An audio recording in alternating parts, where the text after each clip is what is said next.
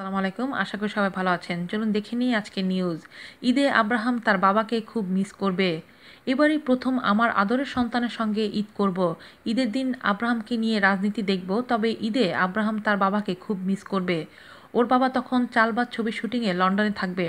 ও যদি থাকতো, তাহলে প্রথমবারের মতো ঈদে আমরা তিনজন একসঙ্গে মজা করতাম। এক বছর পর চলচ্চিত্রের অনুষ্ঠান নিয়ে সবার সামনে এলেন উপবিশ্বাস ঈদে মুক্তি পাচ্ছে এই অভিনেত্রীর রাজনীতি ছবিটি।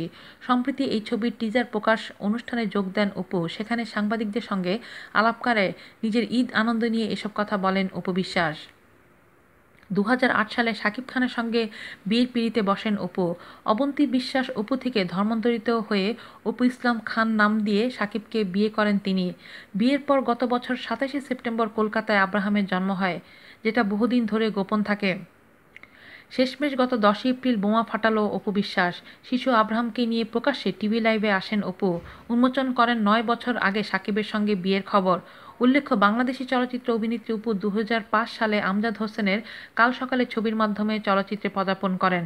দু হাজার ছয় সালে এফআই মানিক পরিচালিত কোটি টাকার কাবিন ছবিতে শাকিব খানের বিপরীতে নায়িকা চরিত্রে অভিনয় করেন তিনি।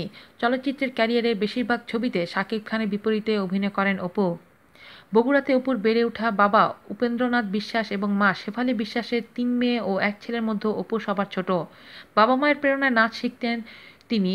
হাতেখড়ি বুলবুল, ললিতকলা একাডেমিতে, তারপর শিল্পকলা একাডেমি এবং সর্বশেষ নিত্যাঞ্চল। আজ এ পর্যন্তই, ভালো থাকবেন। আল্লাহ হাফেজ।